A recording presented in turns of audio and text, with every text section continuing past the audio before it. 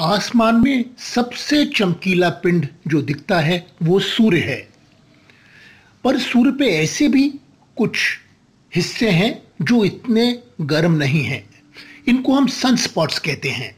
आज दो इंच के टेलीस्कोप से हम सन स्पॉट्स को देखेंगे।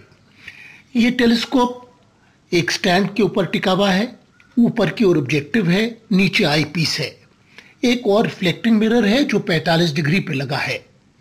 पहले तो एक वार्निंग है, आप कभी भी नंगी आँखों से सूर्य को ना देखें। उसकी बजाय आप टेलीस्कोप के ऑब्जेक्टिव को सूर्य की ओर इंगित करें और उसकी परछाई एक कागज़ पर डालें। और आप इसके फोकस को एडजस्ट कर सकते हैं, कागज़ को आगे पीछे करके। फिर आपको सफ़ेद सूरज के ऊपर कुछ काले धब्बे दिखाई देंगे। ये हैं सनस्पॉट्स सूरज का सतही तापमान 600 कैल 6000 केल्विन का है, पर इन सनस्पॉट्स का तापमान 4000 केल्विन है। यानी ये थोड़े से ठंडे हैं। और ये हमको धब्बा जो दिखाई दे रहा है, दरअसल इसका आकार हमारी पृथ्वी से कहीं अधिक बड़ा है।